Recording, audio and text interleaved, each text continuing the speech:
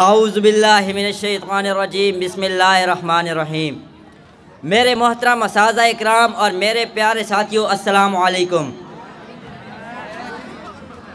आज मैं आपको एक बीमारी के बारे में बताने बताने जा रहा हूँ, जो हमारे दिलों को खोखला जिस तरह एक लकड़ी टूट जाती है, उसी तरह हमारे दिलों को तोड़ रही है। उसका नाम है पबजी।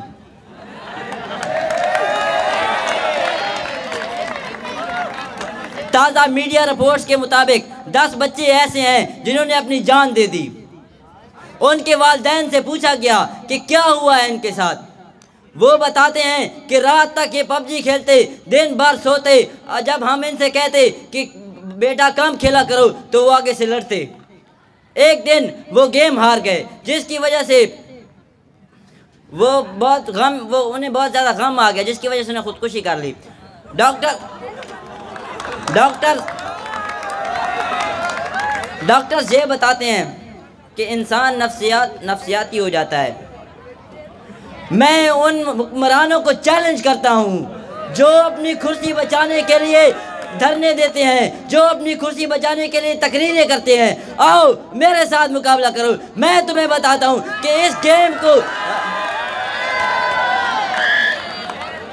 इस गेम को हमने ख़त्म करना है। अगर हमें धरने देने पड़े तो हम धरने देंगे। अगर हमें तकरीरें करनी पड़ी तो हम तकरीरें करने, करेंगे। और अगर हमें मोबाइल तोड़ने पड़े तो हम मोबाइल भी तोड़ देंगे। मेरे मोहतरम साजा इक्राम, मेरी आपसे अपील है कि जितने भी हमारे स्कूल में जितने बच्चे पबजी खेलते हैं, उन, उन्हें मशवरा दें कि इस गेम को ना खेलें।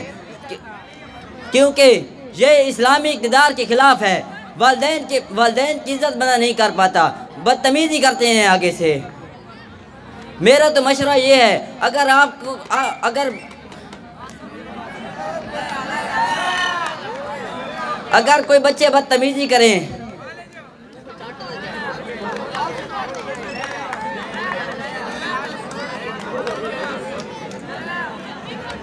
जिस तरह अगर हमें अब हमें फेसबुक पर भी मुहिम चलानी पड़ी। अच्छे काम के लिए ये अच्छा काम है, ये बेहतरीन काम है। हमने अपने माशरे को इस गंदगी से, इस बीमारी से साफ़ करना है। शुक्रिया।